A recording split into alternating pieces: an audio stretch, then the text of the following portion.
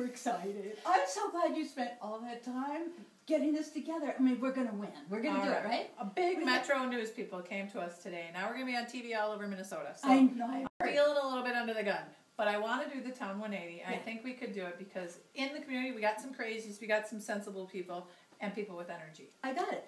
And, and look at from my perspective. I mean, we have this Morrison County Volunteer Network, right? That I belong to because I'm the volunteer Got a coordinator, volunteers, right? Right. We got thousands and thousands of volunteers waiting for like really cool projects, right? And we have all this energy in town with all these people like doing cool things. You must take some effing cool vitamins. I do. okay. I do. I'm always like this. I know you are. I drive you nuts. I know. But, but the people who are looking at this don't know that she and I are always full of energy. You might think we're a little on the fruity side. we however, are. we are.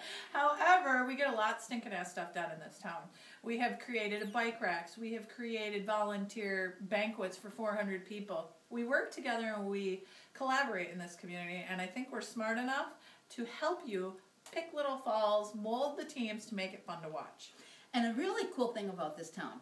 I mean, when I first moved here, I thought it was a little wacko. I still think it's a A little, little conservative, But anyway, a long time ago, I guess there's a history behind this. Okay. You know, the Polish people came, they had their Polish Catholic Church. Ah, yes, and uh, yeah. I don't know who the, all the other people came, and everybody's got their own. There's like four in town, and there's how many people in this town? 8,000. we have we have Okay, 13 churches, 13. 13 bars. Wait a minute. Same number, Maybe. pretty funny.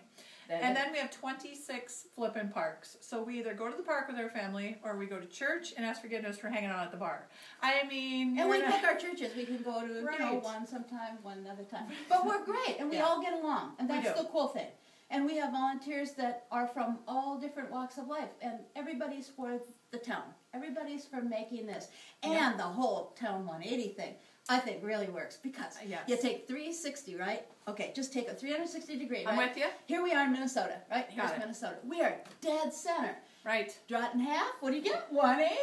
Oh it's perfect. God. We're the winners. Just cause, just because, just because. Yeah. Where is my circle thing with the pointer that makes the circle around Little Falls? I don't know. Do you have one in your? I desk? don't. I don't. Okay, but anyway, get it? You get it? We I get put it, in the Town middle. 180. Draw it around. Town 180. Who else could say that? We. We are going to reinvent this town, We got and it. we will help you if you give us this opportunity. Because we need more stores, big time, and we need business. Any kind of business. Right? Because credit card companies love our money. That's it. All right. Thanks.